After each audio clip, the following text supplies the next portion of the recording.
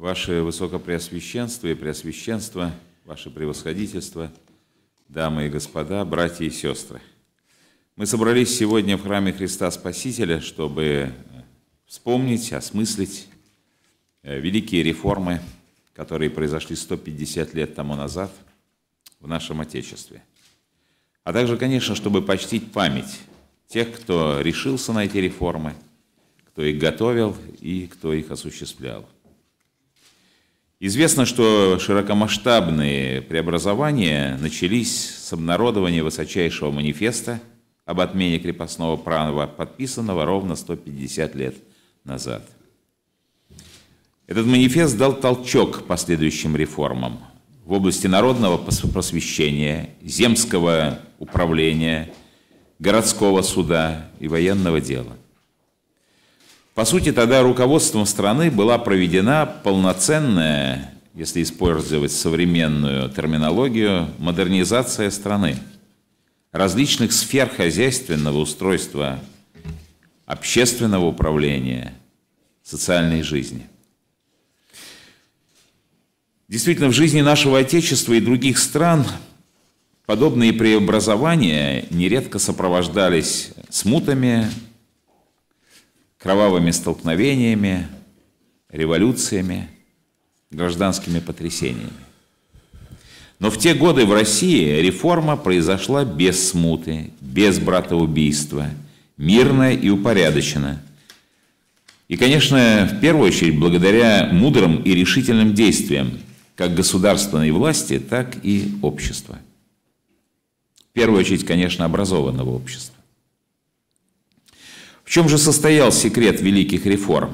И возможно ли нам воспользоваться сегодня э, этим опытом, когда России, да и всем странам русского мира требуется модернизация, преобразование общественной жизни, изменение многих форм общественных отношений –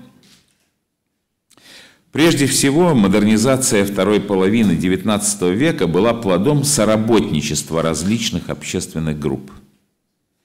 Положительное значение освобождения от крепостной зависимости миллионов крестьян и последующих реформ отмечалось монархистами и демократами, западниками, славянофилами, почвенниками, либералами и консерваторами. Более того, над документами, которые регламентировали содержание э, и порядок коренного переустройства юридических, социальных и экономических отношений в российской деревне, а в конечном счете, конечно, и во всем российском обществе, солидарно работали либеральные чиновники, такие, например, как Яков Иванович Ростовцев и Николай Алексеевич Милютин, известный славянофил Юрий Федорович Самарин – и известно то, с каким восторгом воспринял отмену крепостного права и реформы Федор Михайлович Достоевский, в ту пору уже оставивший свои прежние радикальные увлечения. Русская православная церковь также не осталась в стороне от эпохальных перемен того времени. В лице самого авторитетного из иерархов, святителя московского Филарета – епископат принял прямое и деятельное участие в подготовке манифеста об отмене крепостного права. А потом, конечно, на церковь лежала, легла вся тяжесть ответственности за то, чтобы народное сознание восприняло эти реформы. Что же касается святителя Филарета, то он был литературным автором этого акта, как хорошо известно. Он обладал незаурядным даром слога, а главное, лучше, чем кто-либо другой понимал народную душу, помыслы, чаяния крестьянина. А потом был в состоянии найти слова, способные дойти до сердца и вызвать в нем благоприятный отзыв. Еще одним залогом успеха реформ императора Александров был их, была их ориентированность на национальную традицию. Пожалуй, впервые в послепетровской России – Модернизация национального масштаба не была связана с механическим копированием чужого опыта государственного управления, социального устройства и технического оснащения. но осуществлялась с опорой на нравственные нормы, духовную и культурную традицию народа. Это удачный опыт гармонизации новаторства и традиции, государственного мышления и полной преданности промыслу Божию. Замечательные слова содержатся в манифесте об отмене крепостного права. Обращая, цитирую, обращая внимание на неизбежные трудности предприемлемого преобразования, мы первое всего возлагаем упование на всеблагое провидение Божие, покровительствующее России. Сегодня наша страна также заявила о проведении преобразования и модернизации. И для нее особенно актуально, заимствуя все лучшее у развитых и успешных стран, в то же время творчески использовать многовековой опыт предшествующих поколений. Тысячелетняя история России сформировала мощный духовно-культурный код нашего народа, который направляет образ жизни отдельного человека и всего общества. И несмотря на все перипетии XX века и на совершенно беспрецедентные в истории попытки этот код разрушить, цели не были достигнуты. И даже сегодня мы можем утверждать, что именно этот духовно-культурный код народа обеспечивает выживание общества, страны, как самобытного, уникального явления в духовном и культурном смысле. Стержнем этого кода является, конечно, религиозная традиция. Для большинства народа России это православие, а для, для части граждан другие традиционные религии – ислам, буддизм, иудаизм э, – Кроме того, и верующие других э, конфессий, в первую очередь принадлежащие католической и протестантской традиции, вносили и вносят свой вклад в жизнь Отечества. Труды для блага страны предпринимают и люди, не исповедующие какую-либо веру. Этот код невозможно разрушить или вытравить. В мирное время он помогает отстраивать общественную жизнь, а в дни испытаний – преодолевать трудности и опасности. Тот же самый ценностный базис разделяют и многие другие страны, и которых также коснулись реформы императора Александра II. Я говорю об Украине, Белоруссии, Молдавии, Казахстане и других соседних государствах современной Российской Федерации. Вероятно, было бы правильно в современных условиях разрабатывать проект модернизации и развития не только для одной страны – но с, участием, с участием всех стран, цивилизационно близких друг к другу. Надо заметить, что манифест содержит ориентиры, которые вполне могут быть учтены при проведении современных преобразований, а именно социальная ответственность имущих перед малоимущими, забота имущих о неимущих, добровольный отказ от части преференций и материальных выгод состоятельных людей – вот все это было неким залогом успешного осуществления реформы. В 60-х годах XIX века правящему классу России хватило мудрости на то, чтобы отказаться от части своих наследственных привилегий. Это живое опровержение часто повторяемого тезиса о том, что люди способны руководствоваться только своим корыстным интересом, что общество есть баланс эгоизмов – уравновешиваемый балансом сил. В истории нашего Отечества мы видим пример решений, принятых вопреки многим личным и, как говорили как, какое-то время назад, классовым интересам. И ныне преобразования не могут быть выгодными всем без изъятия. Кому-то придется поступиться личной выгодой ради блага других, ведь это потребует и мудрости, и мужества. Но без этой способности разделять с другими свои ресурсы, интеллектуальные, материальные, невозможно действительно осуществить глубокие преобразования, которые столь необходимы сегодня нашей стране. Реформы императора Александра II были призваны содействовать восстановлению социальной справедливости, дать право на свободный труд, справедливый заработок, достойную жизнь. Известно, что осуществление этих реформ не в полной мере было реализовано. В осуществлении не в полной мере было реализовано задуманное. Но если внимательно посмотреть на любые преобразования и в любой стране, где же в полной мере все замыслы осуществлялись? Такого никогда не было, да, наверное, и быть не может. Потому что жизнь вносит свои поправки. А жизнь в то время в России была очень непростой. И те, кто злословит или злословил, по крайней мере в прошлом, по поводу этих реформ,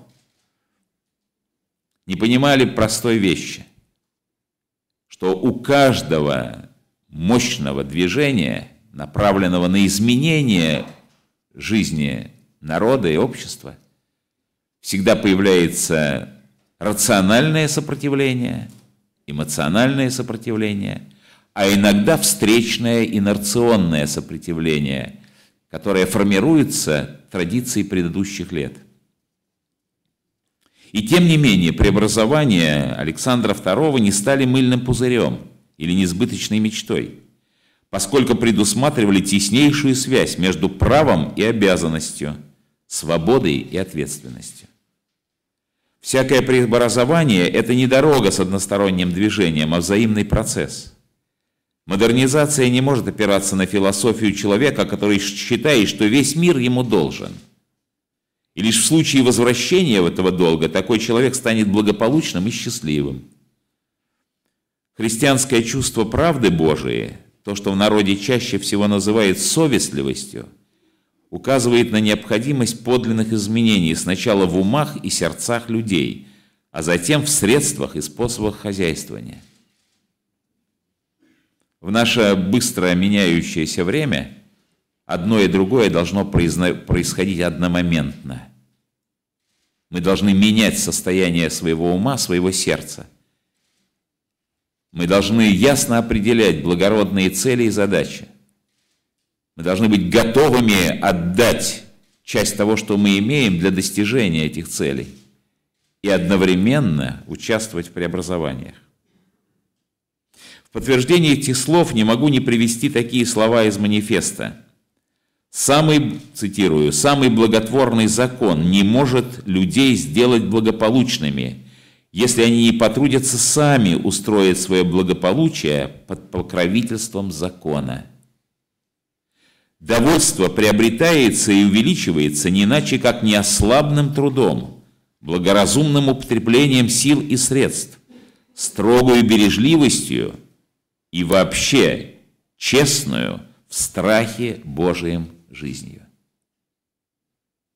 Эти слова надо на растяжках в Москве вывешивать, чтобы пробудить сознание современного человека. Ничего не будет без страха Божьего, особенно в России –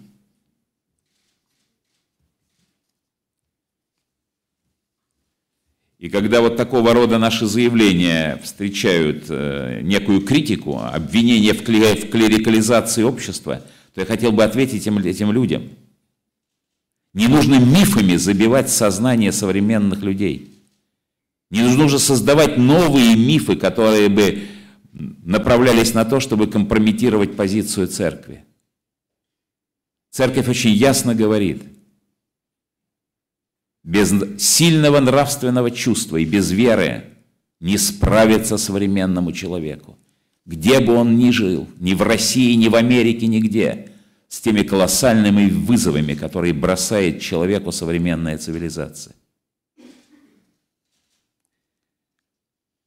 Мне кажется, что эти слова из манифеста – это лучшее кредо власти и народа, совместно совершающихся серьезные преобразования в стране.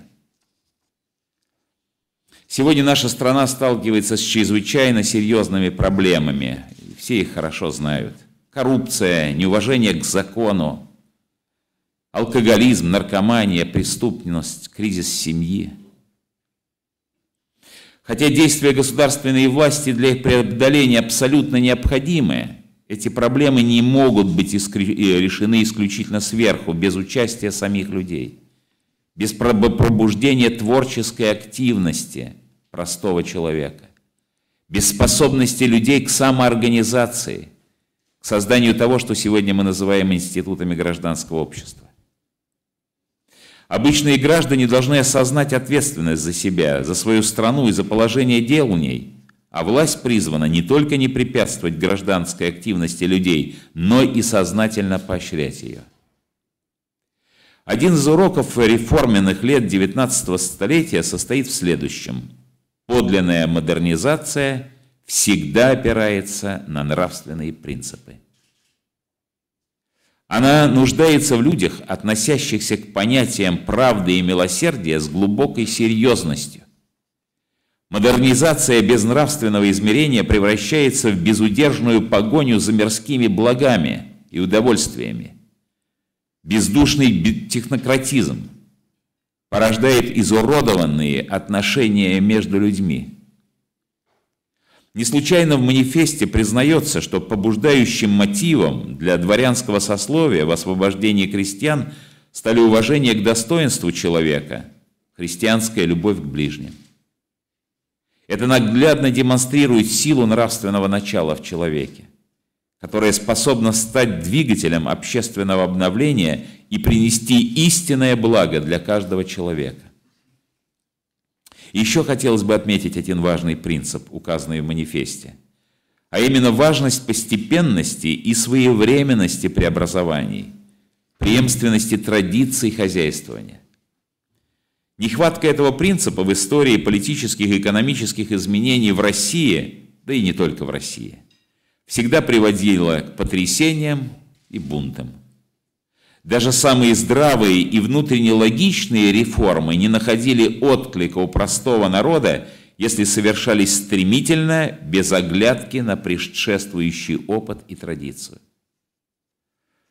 Отмечая значимую дату освобождения крестьян, мы также вспоминаем и трагическое событие в истории нашей страны – 130-летие гибели от рук террористов царя-освободителя Александра II. Заупокойная молитва по убиенному императору, возносимая сегодня в храме Христа Спасителя, является для нас долгом памяти и признания этому великому человеку и реформатору, истинному патриоту своего Отечества. Проведенные под его началом реформы и сегодня могут служить образцом того, как ответственная власть способна реагировать на необходимость глубоких общественных перемен. Благодарю за внимание.